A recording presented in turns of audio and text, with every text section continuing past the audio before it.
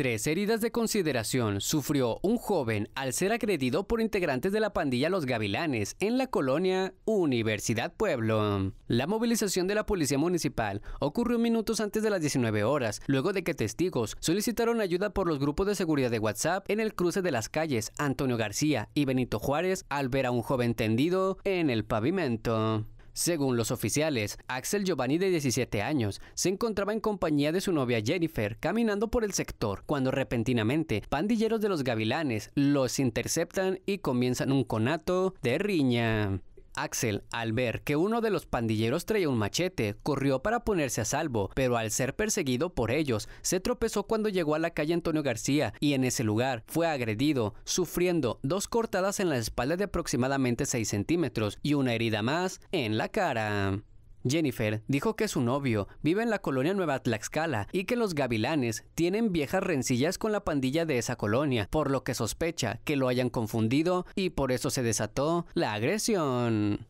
Testigos auxiliaron al joven y lograron ahuyentar a los agresores, por lo que pidieron el apoyo de paramédicos de la Cruz Roja, quienes le brindaron los primeros auxilios y fue trasladado en una ambulancia al Hospital General. Elementos de la policía municipal tomaron conocimiento de los hechos, pero no se logró la detención de los presuntos responsables debido a que ellos no se encontraban en el lugar. Para Telezócalo, informa Eric Briones.